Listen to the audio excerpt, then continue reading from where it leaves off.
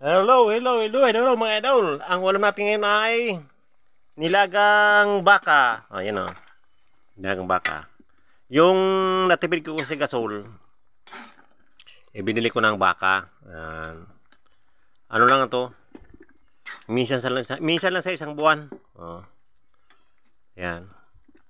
Nagsawa na kasi ako sa mga sugpo, mga alimango, mga lobster, lobster po, lobster. Nagsawa na ako dyan sa kanyan. Baka naman. Ah. Ah, nagsawa na ako sa mga ulam na mga, yung mga mamahalin. Yan. Mga sugpo na yung malalaki. Oh. Baka naman tayo. Kasi, hindi naman ako mayaman eh. Oh. Minsan, baka-baka naman. Minsan, baka-baka.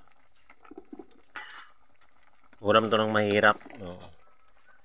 Nung isang gabi kasi ulam namin yung ano, yung mga sugpo, alimango, yan, mga lapu-lapu.